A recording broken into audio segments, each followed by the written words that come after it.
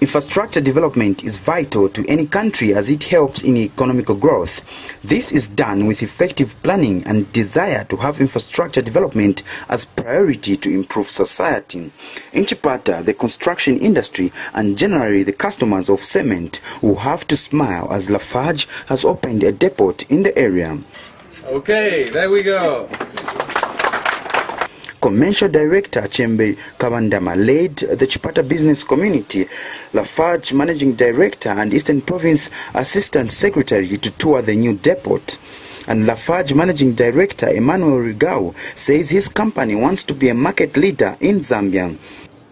Our goal is to be present in strategic markets such as Chipata so that our customers can derive all the benefits of easily accessing our products and services sustainably.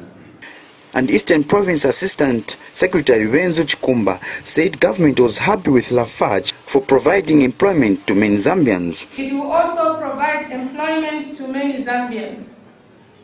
This is in line with the Patriotic Front manifesto of creating more jobs and putting more money into people's pockets.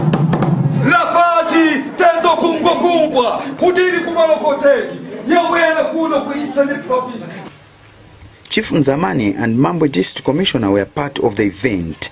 Oswald Yamban II, Movie TV News, Chipata.